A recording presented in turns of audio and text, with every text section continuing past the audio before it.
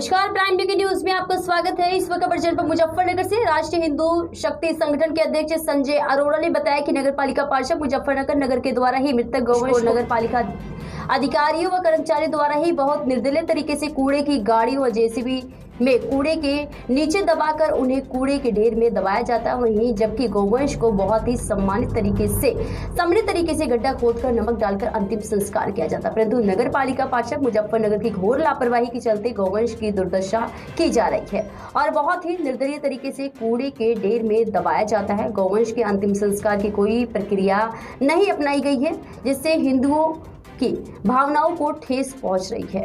नगर पालिका पार्षद मुजफ्फरनगर के अधिशासी अभियंता व अन्य अधिकारियों को अनेक बार अवगत करवाने के बावजूद कोई भी कार्रवाई नहीं की जाती। आपको बता दें कि अवगत कराने वाले व्यक्ति को अशोभनीय व्यवहार का सामना भी करना पड़ता है। इसके अलावा नगर पालिका कार्यालय के बाहर चाट बाज़ार लगाया जाता है, जो कि पूर्ण रूप से अवैध है। चाट बाज़ार के आगे कुर्सी में बैठने के लिए लगा, कुर्सी बैठने के लिए लगाई जाती है। पिछले, जिसके बाद वाहनों को खड़ा किया जाता है, जिससे वहाँ पर आम आदमी को पैदल निकलना भी मुश्किल हो गया। इस संबंध में भी जिलाधिकारी एवं एसपी ट्रैफ़िक को अवगत करा के एक ज्ञापन दिया गया है। राष्ट्रीय हिंदू शक्ति संगठन अपनी मांग को लेकर तत्काल इस और ध्यान देकर नगर पालिका अधिकारियों कर्मचारी के द्वारा ही गौवंश के साथ किया जा रहा निर्दलीय व्यवहार को ध्यान में रखते हुए नगर पालिका कार्यालय के बाहर से अवैध रूप से अतिक्रमण हटाने के संबंध में उचित कार्रवाई करने का कष्ट करने की मांग की गई। प्राइम न्यूज़ न्यूज़ चैनल के लिए पवन अग्रवाल मुजफ्फरनगर। संजय अरोड़ा क्या मामला है? आज राष्ट्रीय हिंदू शक्ति संगठन के द्वारा मान्य जिलाधिकारी महोदय के माध्यम से एक ज्ञापन तो माननीय मुख्यमंत्री जी को दिया गया है और एक ज्ञापन जो है हमने माननीय जिलाधिकारी को दिया है विशेष रूप से। मांग हमारी है कि जो गोवंश की दुर्दशा हो रही है कभी उनको कूड़े की ट्रोली में डालकर लाद लाद कर लाया जाता है और ऊपर से कूड़ा डाल दिया जाता है।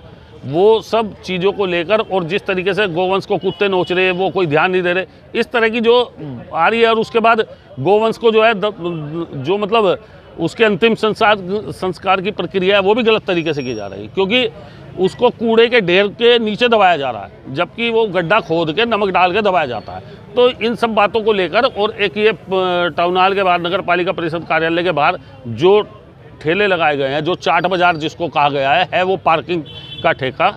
और उसमें ठेले लगाने के बाद ब्रेंच लगाई जाती है खाने के लिए बैठाया जाता है और उसके बाद वाहन खड़े किए जाते हैं। तो सारी सड़क ब्लॉक हो रही जो ट्रैफ़िक पुलिस के लोग हैं वे जगह जगह चलान काटते तो फिर रहे पर उनको वहाँ पर कुछ नहीं दिखाई देता वे सीधे निकल जाते हैं वहाँ से। क्या कारण है?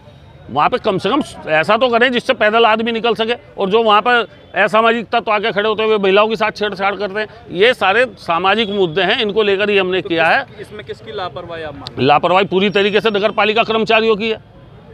सरकार को बदनाम करने की साजिश चल रही है सरकार अच्छा काम कर रही है तो कुछ कर- कर्मचारी हम्म, पूर्वाग्रह जो सरकार उनकी मानसिकता को लेकर बैठे हैं।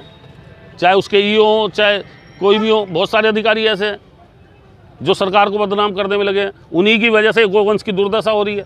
इस सब चीज़ों को हमने ध्यान आकर्षित किया और जिलाधिकारी महोदय ने हमें आश्वासन दिया है कि इन सब पे अतिशीघ्र कार्रवाई होगी।